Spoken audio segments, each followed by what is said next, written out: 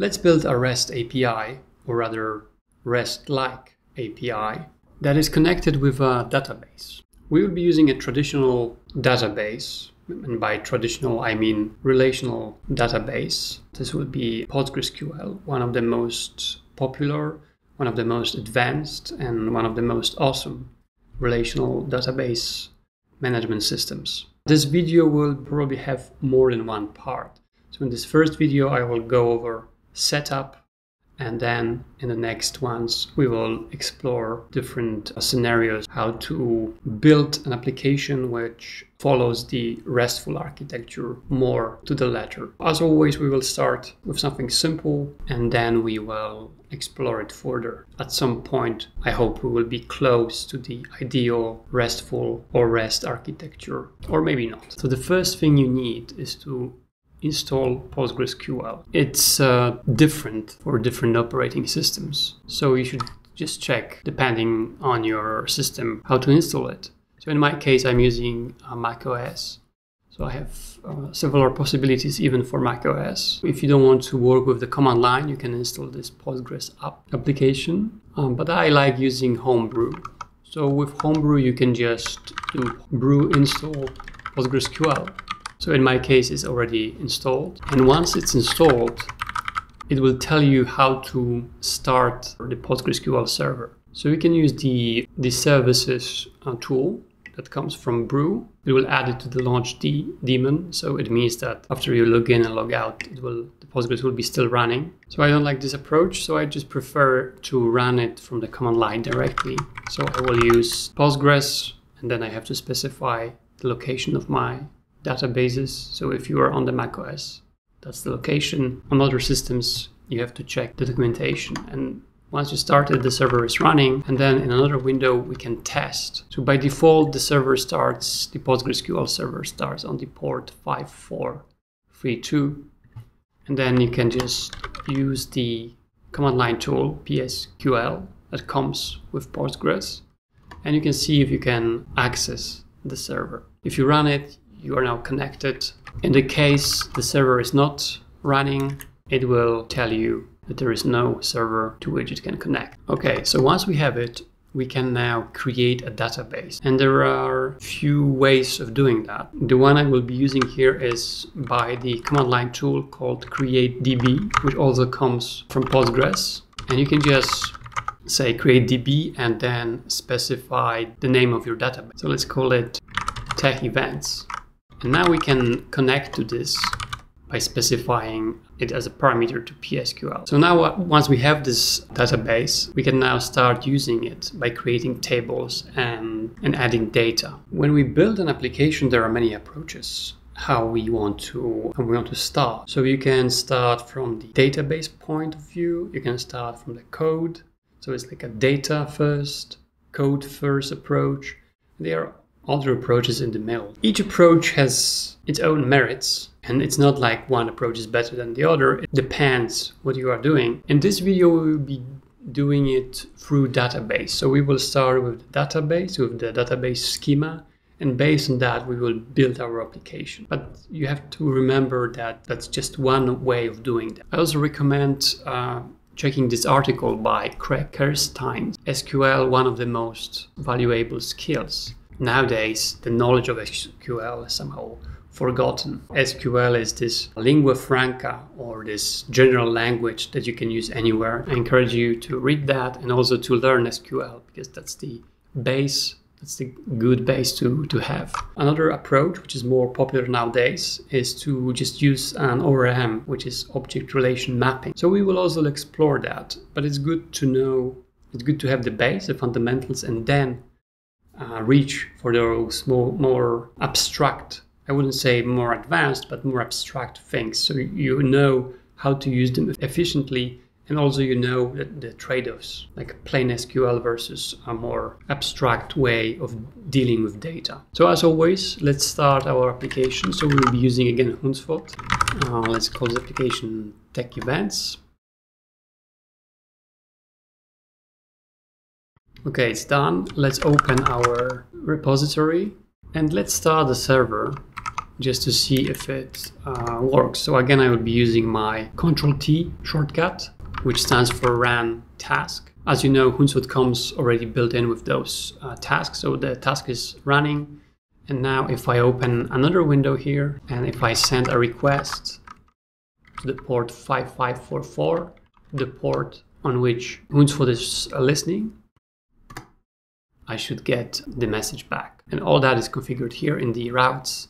So the hello routes returns hello Huncwot. As we did before in the previous videos, if you haven't seen them, please check them out. Let's create our resource. So in this case, I'm creating event and I will be using a controller. And inside, I'm only interested about browsing all events. So just getting all events in the command line. So I will just copy this, this code from the base controller because we will be doing something similar. Now we need to connect to our database. In order to do that, we need to configure the access. So in config default, we have the database configuration and we need to specify our name of the database, which is the name of our application.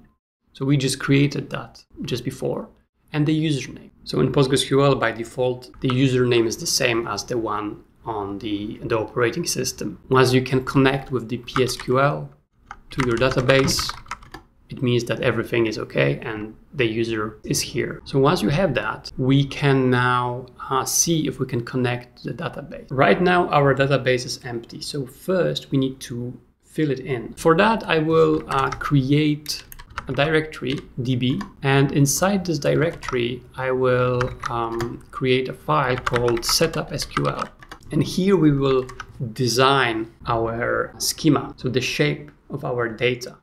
And for now we are only interested in events so I will only create one table. And as we go we will add more and we will connect those tables and we will see how we can do that. Let's just go ahead and create the event table. And here we need the ID, which in Postgres is serial primary, primary key.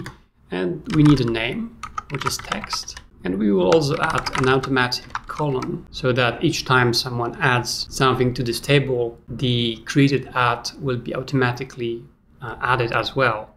So this will be timestamp TZ, which stands for timestamp with time zone this will be always not null. And by default, this will be the result of invoking the now function. So each time someone adds something, we will automatically uh, create that. So the engine, the PostgreSQL engine will automatically fill that field for us with the current timestamp. So now we have a table and it's always a good idea in uh, the setup scripts for um, SQL to add this drop table if exists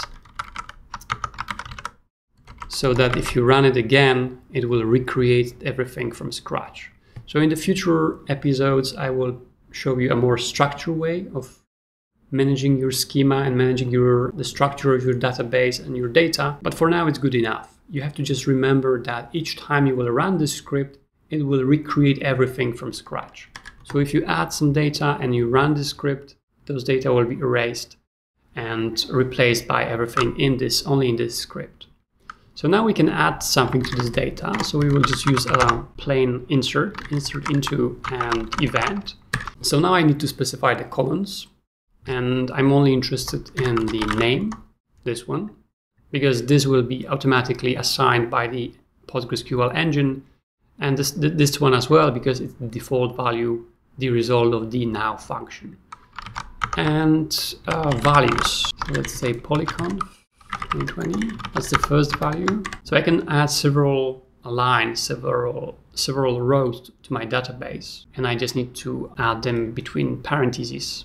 So I just need to wrap each set of values between parentheses. So strange loop 2020, and let's find, let's say, Curry On, like so. So now you have two ways of using this on your database. The first one, the most straightforward one approach is by using again the PSQL uh, script. You need to specify the database on which you want to invoke this script by using the smaller than sign. You just specify the setup file as the input for this command to execute on this setup. The create table was executed and uh, we inserted three elements. So if I run the PSQL again, and if I do select from event, I'm, I have those three values and then as you can see, the timestamp created at was automatically filled in. So now I would like to use this in my controller to return this data as JSON. We are trying to build a REST or REST-like API. In our controller, we need to now import the database from Huncwot uh, DB. So now we can just say collection and we need, we need to say DB from event. So this is the name of our table. This is an asynchronous operation. So we need to await the result of that. So it means that we need to make this handler async as well. So now we can just use the collection and pass it directly instead of a string here, like so, which means that this collection will be uh, serialized into JSON and returned to the user. In order to test that, let's start the server and now in the another window, I can just use HTTP 5544. So because I added this as a controller under event, so this is the event path. And because I'm interested in getting a collection, so invoking the browse handler, I don't have to specify anything else. And the data is returned as requested. So that's a very basic way of connecting it. I haven't mentioned many other things that are important here, but I will cover that in the next episode. I just wanted to make it workable so that you can now play with it. It's somehow in a very early but finished state. So that's all for today. In the next episode, we will make it slightly better. Thanks for watching. See you next time.